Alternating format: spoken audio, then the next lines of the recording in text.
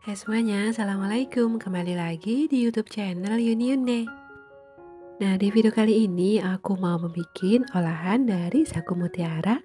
Ini pas banget untuk hidangan penutup Atau buat ide jualan juga bisa loh teman-teman. Rasanya yang enak, manis dan juga gurih. Nah untuk cara bikinnya gimana?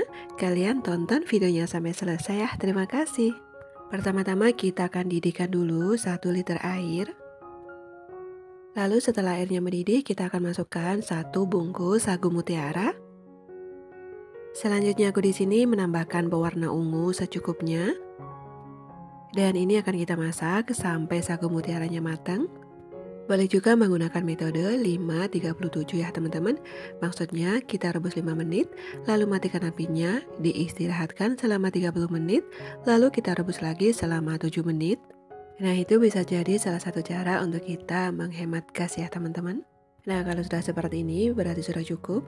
Sekarang akan aku tiriskan dulu. Warnanya dia cantik sekali, bening dan tidak hancur.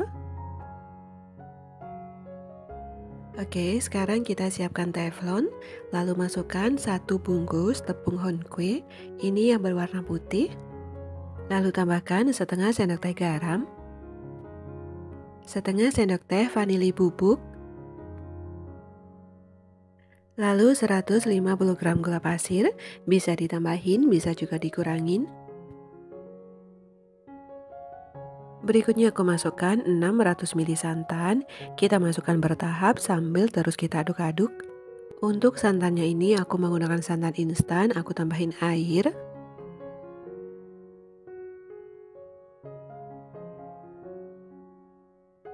Nah, setelah kita aduk-aduk merata, sekarang akan kita nyalakan api kompornya.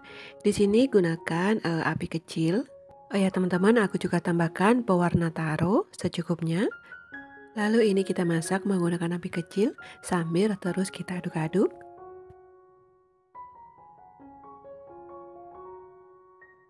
Dan ini sudah kelihatan dia sudah mulai mengental. Airnya sudah menyusut ya, teman-teman.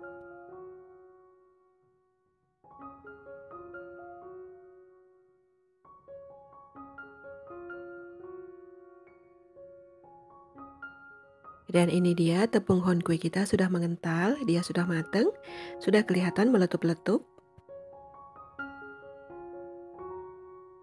Dan sekarang kita akan masukkan uh, sagu mutiara yang tadi sudah kita tiriskan. Setelah itu lanjut kita masak dengan api kecil sambil kita aduk merata seperti ini.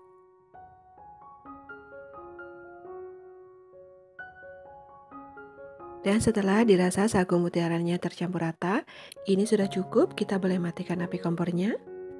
Lalu akan kita tuang ke dalam cetakan puding seperti ini. Oh ya teman-teman, supaya nanti mengeluarkannya lebih mudah, cetakannya tadi basahin dulu dengan air matang.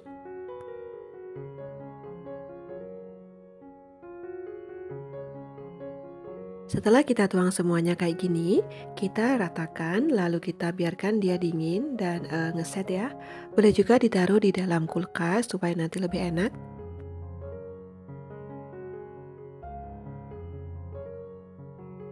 Dan setelah dia dingin dan ngeset, boleh kita keluarkan dari cetakannya. Bismillah.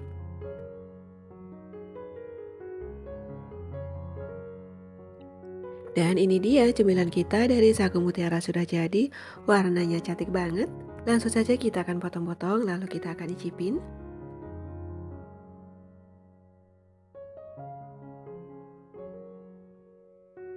Kalau untuk ide jualan, ini boleh langsung dicetakin di dalam mika kecil-kecil atau di dalam cup-cup kecil ya teman-teman.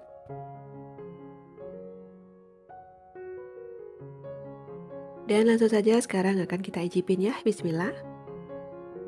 Hmm, rasanya enak banget, dia manis dan juga gurih. Ada wangi rasa taro juga, benar-benar tambah mantul. Dan manisnya juga pas ya teman-teman. Oke, selamat mencoba untuk kalian semuanya. Semoga berhasil dan semoga resep kali ini bermanfaat.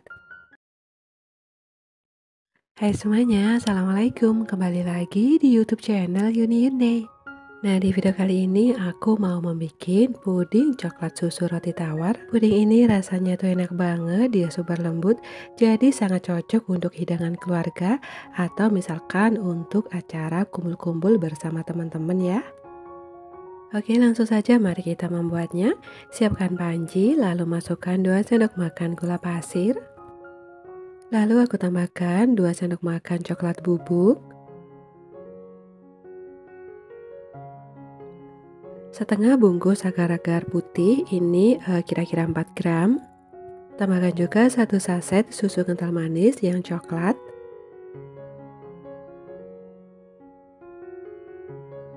Selanjutnya kita akan tambahkan air sebanyak 200 ml. Kita aduk merata, selanjutnya akan kita masak menggunakan api kecil sambil terus kita aduk-aduk seperti ini ya. Dan ini kita masak sampai dia mendidih.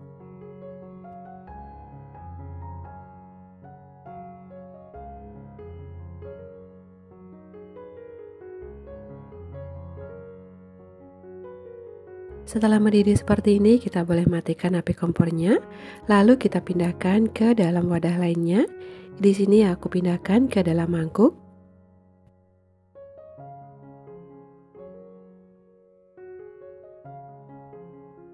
Selanjutnya aku di sini menyiapkan cetakan puding. Ini diameternya 24 cm.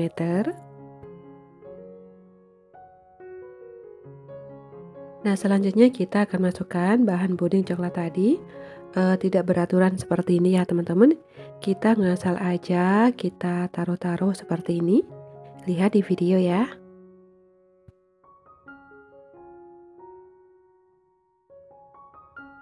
Setelah itu kita biarkan sampai dia ngeset atau dia uh, mengeras ya teman-teman. Kita boleh sisihkan terlebih dahulu Oke, langkah selanjutnya kita siapkan panci kembali, lalu masukkan 180 gram gula pasir, satu bungkus agar-agar putih, 3 saset susu kental manis, atau ini setara dengan 120 gram,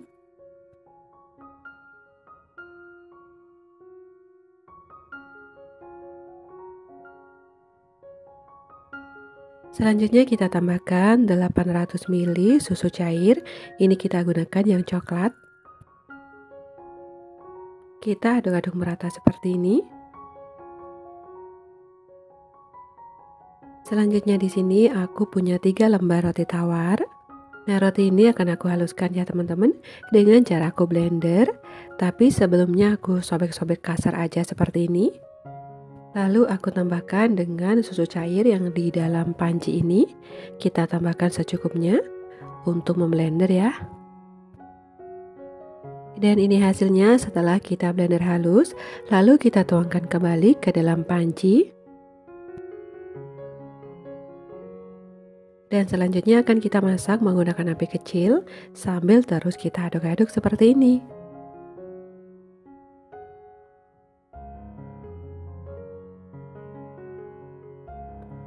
Dan sekarang kita akan tambahkan 2 sendok makan tepung maizena. Kita ambil uh, sedikit susu cair untuk melarutkannya ya teman-teman. Kita aduk-aduk rata sampai tepung maizenanya larut.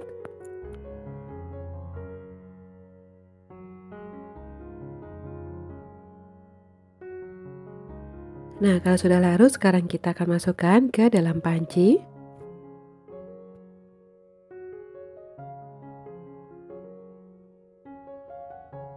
Lanjut ini akan kita masak sampai dia mendidih ya teman-teman. Jangan lupa sambil terus diaduk-aduk seperti ini.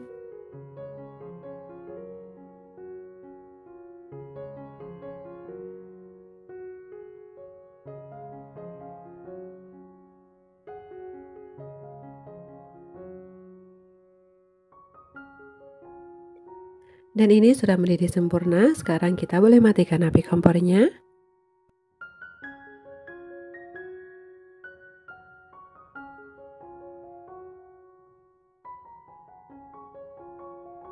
Selanjutnya akan kita tuangkan ke dalam cetakan puding. Ini masih dalam keadaan panas-panas, langsung aku tuangkan seluruhnya ya teman-teman, supaya menempel di motif yang tadi sudah kita bikin.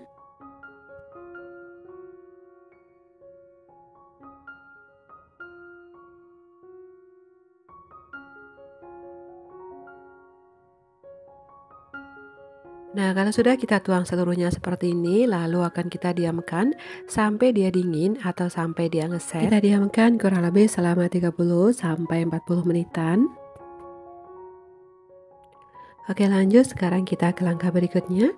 Kita gunakan panci yang tadi, lalu aku tambahkan 250 ml air, lalu aku tambahkan 50 gram coklat batangan, 120 gram gula pasir atau boleh disesuaikan dengan selera, satu bungkus santan instan ini yang 65 ml. Dan kita akan masukkan uh, sisa adonan yang coklat tadi. Ini adonannya dia sudah mengeras, sudah mengumpal ya teman-teman. Tapi tidak apa-apa, nanti dia bisa mencair kembali. Lalu aku masukkan juga setengah bungkus agar-agar putih. Ini yang sisa tadi kita gunakan ya teman-teman. Atau setara dengan 4 gram. Selanjutnya kita nyalakan api kompornya dan ini akan kita masak sambil kita aduk-aduk seperti ini.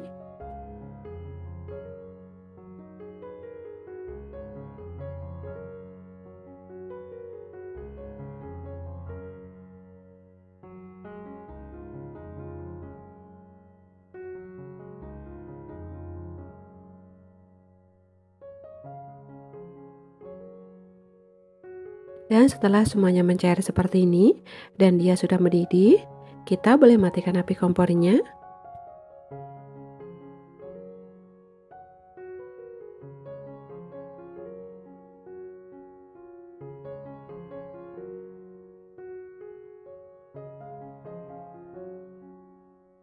Dan puding yang kita tadi uh, sisihkan dia sudah ngeras, dia sudah ngeset ya.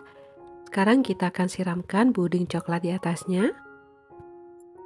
Dan setelah kita siramkan semuanya, ini akan kita diamkan sampai puding kita dingin atau sampai puding kita ngeset. Lebih enak lagi boleh kita taruh di dalam kulkas ya teman-teman.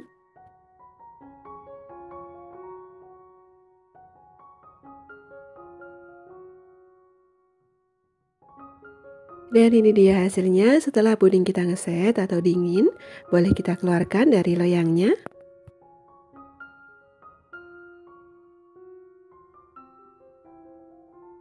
Nah untuk tampilannya dia sudah kelihatan cantik banget ya teman-teman.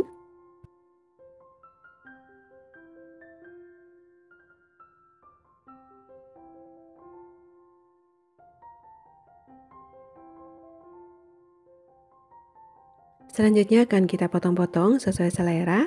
Nah puding ini selain tampilannya yang cantik, rasanya juga super enak, dia super lembut, manis dan juga coklat banget. Oke, selamat mencoba ya teman-teman. Semoga berhasil dan semoga resep kali ini bermanfaat.